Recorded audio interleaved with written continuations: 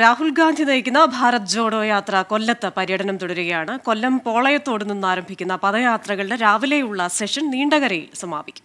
ശേഷം കശുവണ്ടി തൊഴിലാളികളോടും കശുവണ്ടി ഫാക്ടറി ഉടമകളോടും ആർ എസ് പി നേതാക്കളോടും രാഹുൽ ഗാന്ധി സംവദിക്കുകയും ചെയ്യും. ഉച്ചയ്ക്ക് മൂന്ന് മുപ്പതിനു ശേഷം നീണ്ടകരയിൽ നിന്ന് വീണ്ടും തുടങ്ങുന്ന പദയാത്ര കരുനാഗപ്പള്ളിയിൽ പൊതുയോഗത്തോടെയാണ് സമാപിക്കുക. വിശദാംശങ്ങളുമായി കൊല്ലത്ത് നിന്ന് സലീം മാലിക് ചേരുകയാണ്.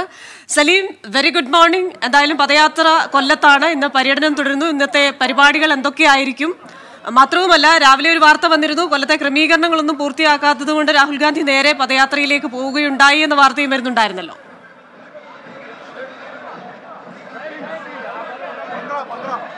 ക്രിസ്റ്റീന ഈ രാഹുൽ ഗാന്ധിയുടെ പദയാത്ര കഴിഞ്ഞ ദിവസങ്ങളിൽ വലിയ മനോഹരമായി ക്രമീകരിക്കപ്പെട്ട പദയാത്ര. ഇന്ന് പക്ഷേ അതിന്റെ ക്രമീകരണങ്ങൾ ആകെ പാളുന്ന ഒരു സാഹചര്യമായിരുന്നു രാവിലെ നമ്മൾ കണ്ടത്. ഈ പദയാത്രയ്ക്കുള്ള ഒരുക്കങ്ങളൊന്നും പൂർത്തിയായിരുന്നില്ല.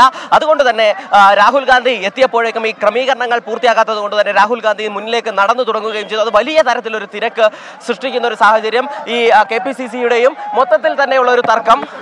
മൊത്തത്തിൽ തന്നെയുള്ള ഒരു തർക്കം ഇതുമായി ബന്ധപ്പെട്ട് ഉണ്ടാവുകയും ചെയ്തു. എന്തായാലും ഇന്ന് പോളയത്തോട് നിന്നാണ് ഈ ജാഥ ആരംഭിച്ചത് രാഹുൽ ഗാന്ധിയുടെ പദയാത്ര. രാവിലത്തെ സെഷൻ കൃത്യം ആറ് മുപ്പതിന് തന്നെ ആരംഭിച്ചു. ഇത് നീണ്ടകരയിലാണ് ഇന്ന് സമാപിക്കുക.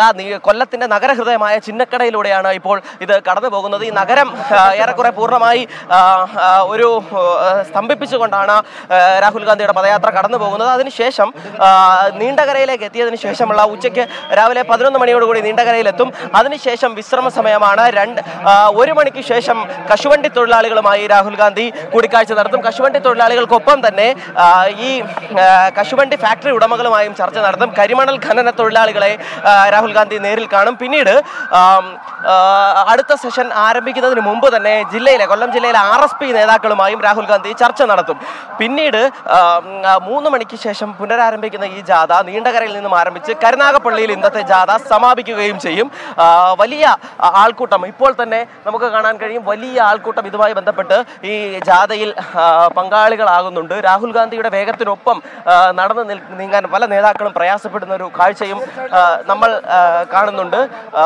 ഈ നിയന്ത്രണങ്ങൾ സേവാദൾ പ്രവർത്തകർ പോലീസ് ഒപ്പം മറ്റ് രാഹുൽ ഗാന്ധിയുടെ സുരക്ഷാ ജീവനക്കാർ ഉൾപ്പെടെയുള്ളവരാണ് ഈ നിയന്ത്രണങ്ങൾ നടത്തുന്നത്. മുന്നിലായി ഏറ്റവും മുന്നിലായി ഒരു പദയാത്ര സേവാദൾ പ്രവർത്തകർ മുന്നിലേക്ക് പോകുന്നു. അതിനുശേഷം രാഹുൽ ഗാന്ധി രാഹുൽ ഗാന്ധിക്കൊപ്പം ഇന്നിപ്പോൾ N K Premachandran M P K Muraleedharan Ramesh Chennithala തുടങ്ങി നേതാക്കൾ ഫോർവേഡ് ബ്ലോക്ക് നേതാവ് ദേവരാജൻ തുടങ്ങിയ ആളുകളാണ് ഇന്ന് ആദ്യ നിരയിൽ ഇടം പിടിച്ചിരിക്കുന്നത്. കഴിഞ്ഞ ദിവസം ഈ ജാഥ അവസാനിച്ചപ്പോൾ ഈ പദയാത്ര അവസാനിച്ചപ്പോൾ കൊല്ലം പള്ളിമുക്കിലായിരുന്നു പദയാത്ര അവസാനിച്ചത്. ഒരു വലിയ ആൾക്കൂട്ടം പതിനായിരത്തിലധികം ആൾക്കൂട്ടം അതുമായി ബന്ധപ്പെട്ടുണ്ടായിരുന്നു പകൽ സമയത്ത് രാവിലെ സമയത്ത് ഈ യാത്രയുമായി ബന്ധപ്പെട്ട് അത്രയധികം തിരക്ക് വരരുത് എന്നായിരുന്നു പറഞ്ഞിരുന്ന ആളുകൾ നിയന്ത്രണം നൽകിയിരുന്നത്. പക്ഷേ അതും പാലിക്കപ്പെടുന്നില്ല. വലിയ ആൾക്കൂട്ടം രാഹുൽ ഗാന്ധിയെ കാണാനായും ഒപ്പം തന്നെ രാഹുൽ ഗാന്ധിക്കൊപ്പം നടക്കാനായും ഈ ആൾക്കൂട്ടത്തിനൊപ്പം ചേരുന്നു. വൈകുന്നേരത്തിന് ശേഷം വീണ്ടും പതിനായിരത്തിലധികം ആളുകളെയാണ് പ്രതീക്ഷിക്കപ്പെടുന്നത്. അതുകൊണ്ട് തന്നെ ഈ ഈ ജാഥയ്ക്കുള്ള യാത്ര പോകുന്ന വഴികളിലെ ഗതാഗതം ഉൾപ്പെടെ ക്രമീകരിച്ചുകൊണ്ടാണ് ഇത്തരത്തിൽ ഒരു ക്രമീകരണം നടത്തിയിരിക്കുന്നത്.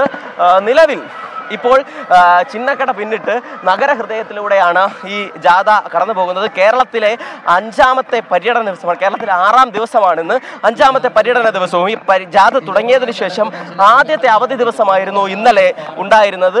ഈ അവധി ദിവസത്തിന് ശേഷം കഴിഞ്ഞ ദിവസം ആദ്യമായി അവധി ഉള്ള സമയത്തായിരുന്നു ഈ പദയാത്രകൾ ഉൾപ്പെടെയുള്ളവർ കൊല്ലത്ത് യൂനിസ് കോളേജിൽ ക്രമീകരിച്ചിരുന്ന വിശ്രമ കേന്ദ്രത്തിൽ അവരുടെ മറ്റ് ഈ തുണി അലക്കൽ ഉൾപ്പെടെയുള്ള കാര്യങ്ങൾ നിർവഹിക്കുകയും ചെയ്തത്. അതിനുശേഷം വീണ്ടും ഈ യാത്ര ഇപ്പോൾ തുടങ്ങിയിരിക്കുന്നു. ഇനി ഏതായാലും കൃത്യമായ അതിന്റെ ദൃശ്യങ്ങളൊക്കെ എത്തിക്കാൻ കഴിഞ്ഞു. പക്ഷേ ഈ പദയാത്രയ്ക്കൊപ്പം ഇങ്ങനെ നടന്ന് ദൃശ്യങ്ങളെല്ലാം തന്നെ കൃത്യമായി കവർ ചെയ്യുക എന്ന് പറഞ്ഞാൽ ചെറിയൊരു വെല്ലുവിളിയുമാണ്.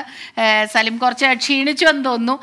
വരും മണിക്കൂറുകളിൽ നമുക്ക് പദയാത്ര ഓരോ ഇടങ്ങളിൽ എത്തുമ്പോൾ അതത് സ്ഥലത്ത് നിന്ന് നമുക്ക് റിപ്പോർട്ട് ചെയ്യുകയും ചെയ്യാം.